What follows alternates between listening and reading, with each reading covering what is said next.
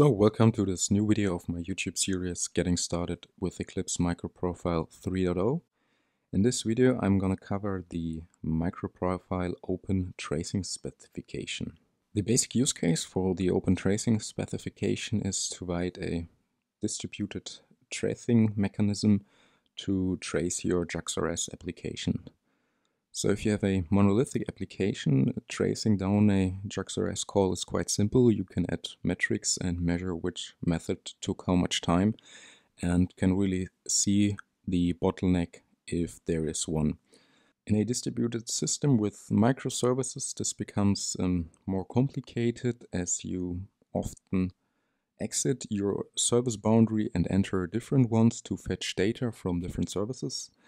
And for this, we need a mechanic to trace a single flow through all of these services. There are a lot of distributed tracing systems. The most famous one are, I would say, Jaeger and Zipkin. Back then, they all had their own proprietary standard and way of implementing open tracing. But with the open tracing standard, we now have a standardized approach how this distributed tracing should be done. And this is what the microprofile open tracing specification targets to have this uniform standard of distributed tracing for your application. So this open tracing microprofile specification comes with two operation modes. The first one is um, without code instrumentation. So at default, all your JAX-RS clients and resources will start a new trace out of the box. The other operation mode would be to, to manually add the add traced annotation to a method call um, to manually start a new span or a full trace if none is there yet. To show you how it works with the first operation mode, so without doing anything and just having a JAX-RS application, I've created two small micro profile only microservices. The first one is the bookstore, which I opened here. This bookstore has one public endpoint to retrieve a list of books. Here I hard-coded three JSON objects, which are three books and returned by this endpoint. Service also has a price endpoint to retrieve the price for a book.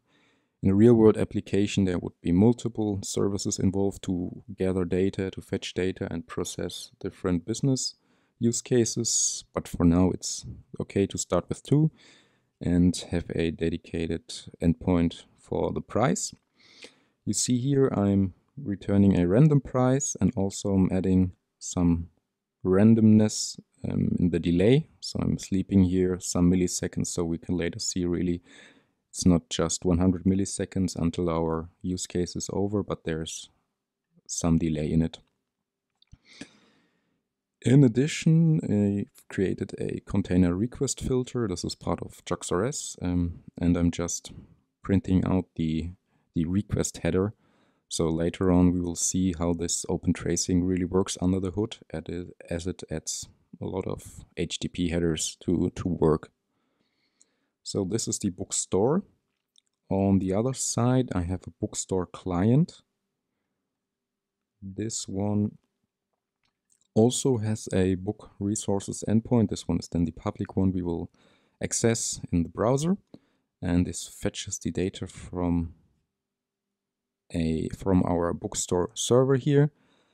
So I'm using a JAX-RS client to fetch the three books and then iterate over the books. And for each book, I'm fetching the price by its ID. So it's not the, the best implementation here. This could be done in parallel, but we want to actually see something later on in our Zipkin UI as I'm using Zipkin for this example. So that's here. So the price calculator also does a remote call, uh, calls the, the REST endpoint here and retrieves uh, the price for the, the book. Here you see the host name is bookstore. I'm using Docker Compose for the deployment locally, so this can be resolved to the actual IP address, so you don't have to hardcode any IP address here. That's why there is bookstore. So I'm using OpenLiberty for the application server and with Open Liberty, we have to add an extension for which underlying distributed tracing system we use. Here as I'm using Zipkin I have to add the Zipkin extension. So this can be downloaded um, at the IBM site and it's just a jar file uh, containing the logic to work for Zipkin. And this feature, then as you see it here in my Docker file, I'm adding it to my Docker container at the correct folder. And in my server XML, I'm registering this open tracing feature, Zipkin with this version, and also configure the, the host of the Zipkin server and the port. So this is done in both the Bookstore client and in the Bookstore. For the deployment, let me show you the Docker Compose file. So this small environment consists of three services. One is the Bookstore client with the public ports of the Open Liberty server. Links, uh, it connects to, to Zipkin and Bookstore. Bookstore is the other microservice and Zipkin is actually the official Zipkin image we use um, to report our traces and this server will then correlate everything and create a nice UI for us so we can really then trace our method calls and see what was the bottleneck, which call did take, how much second and much more. To start this whole environment locally, you need Docker and Docker Compose. If you cloned it from my GitHub repository, you will get a build and run shell script to both build both applications with Maven and then create the Docker files and in the end bootstrap the whole environment. So let's see. It's now starting to open Liberty servers and the, the Zipkin server locally. So we need Zipkin to, to report the traces from each application and then correlate everything together. But as you've seen in the application code, I've added no additional annotation um, for open tracing. The only thing you have to do for open liberty is to, to add this extension and configure the access to the distributed tracing system, so either Jaeger or Zipkin or another solution you use. And that's it. So both applications are now up and running. Let's go to a browser and hit the public endpoint of our bookstore client.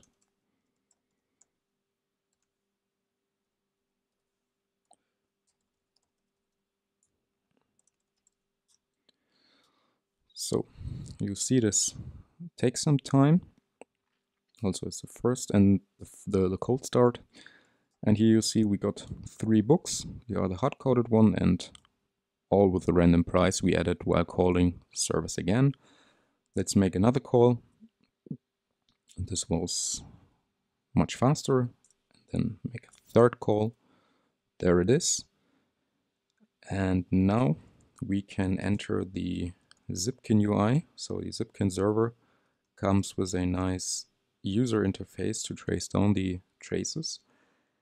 It's at this port and then it's just Zipkin. And here we can click on the search icon and now see three results. These are three traces. We see when they were started, we see the duration, how long it took to really complete, to get our three books and get the price. And we can then drill down and click on one trace and then get a visual representation of what, what happened in the background in detail. So here we see the, the boundary level. So all started with our microprofile bookstore client and is then called the bookstore four times. The first call was get available books. So you see here it, it really took quite long. This is was a cold start, so everything had to be started in the background. And once we got the books, we fetch the price for each book here in sequence, not in parallel. So you can actually see Here we're fetching the first price. It took about 500 milliseconds, the next one, and then the last one. And this was all remote calls we did for our use case. And there's way more metadata. You can also see here when it actually started as a server and the finish one, which HTTP method was used, and also the IP addresses. And if we now go go back, we see the other ones. And if we open them, you see here the get available books call was no way faster. Back then it took about, what was it, two seconds because of a cold start, and here it's just 20 milliseconds and then our prices add up some time as we add some random delay. At the top, you also get further metadata, so you see how many services were involved in this call. It were two. How nested they were, so we had a depth of two. How many spans were included, so here we have five. We have one trace with five spans which were created and then all correlated to this trace ID. And as I mentioned, I've added this filter to the bookstore server to really see what's going on under the hood. And let's switch back to the application in the logs. And here we see that we are printing out the incoming headers. So the normal headers like the host, the accept header, and different stuff. And here at the bottom, you also see four new headers. These are then the open tracing related headers we need to correlate this call to the, the business flow we, we triggered with our browser. So this is how it's done in the background and these values alongside their the timestamp and how long it took are then reported to the Zipkin server and the Zipkin server aggregates everything and gives us this nice UI we see here uh, to really trace down what happened in our system. So that's everything I wanted to share with you for the open tracing specification. Have fun using it.